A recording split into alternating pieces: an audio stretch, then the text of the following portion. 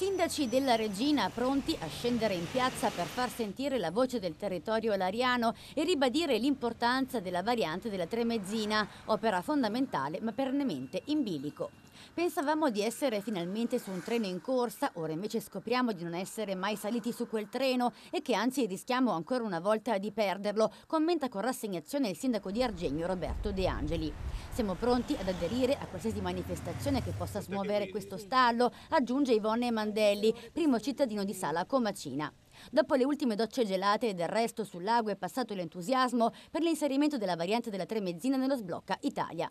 La Commissione Ambiente infatti ha bocciato l'emendamento del deputato leghista Nicola Molteni nel quale si chiedeva di differire la scadenza del 30 agosto 2015 per l'apertura del cantiere.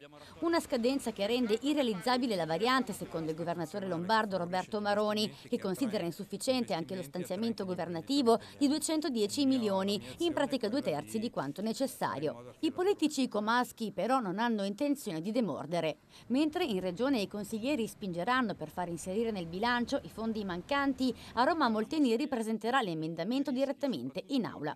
Intanto il parlamentare del PD e sindaco di Tremezzina, Mauro Guerra, cerca di tranquillizzare colleghi e abitanti lariani.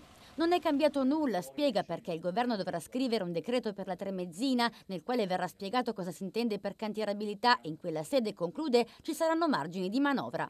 Sul lago però la delusione è grande. Sembra che tutti siano impegnati solo a mettere i bastoni fra le ruote, commenta Adolfo Valsecchi, sindaco di Menaggio. Siamo a un passo dalla soluzione e non riesco a capire, aggiunge, il motivo per cui ci sia questo braccio di ferro fra regione e governo. Il motto Mors tua vita mea, conclude, non vale quando è in gioco il destino di residenti e utenti del lago di Como. La regione non si sta comportando bene con noi, gli fa eco il sindaco di Colonno, Luciano Soldati. Se non riusciremo a partire con la variante, nemmeno questa volta con due terzi di opera finanziati, conclude con amarezza, non ce la faremo mai.